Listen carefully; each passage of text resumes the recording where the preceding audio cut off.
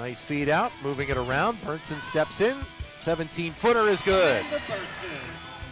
Inside Wheatley, double team, steps through it, and a nice finish. Who has come in in about a minute and fired up two shots. Ismail, the floater. Well done by the freshman. Kind of been a member of the Philadelphia basketball community for a long time. Jump shot by Michelle Miller. Off the screen, just beyond the right elbow. Holland down in low Tarakchian. Tough shot, floater on the baseline. Vanessa Smith turns, baseline fall away. Nice shot.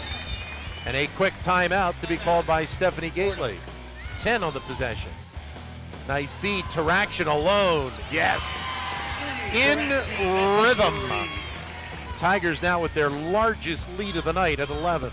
Tarakchian left wide open in the right corner. That one a little long. Ismail the fight for it. Great save. And Wheatley with the finish.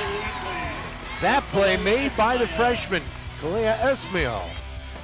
Misery lets it fly. Got it. And Fordham with their first lead of the night on their eighth three pointer of the game.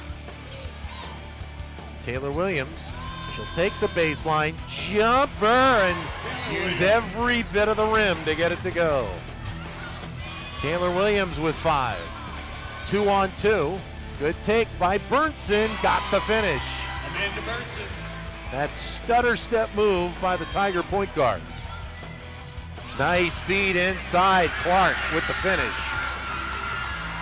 Three point lead in the Ivy League and in the Pac 10, Pac 12, I should say.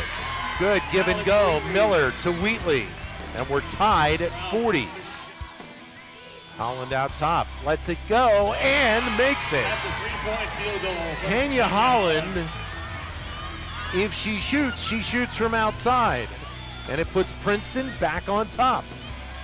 Nine on the possession. Burns into the hole with the left hand, and that's a patented finish. So Princeton survives a quite a battle here tonight against the Fordham Rams out of the Atlantic 10. It'll be a 55-44 final score as the Tigers go to 9 and 1.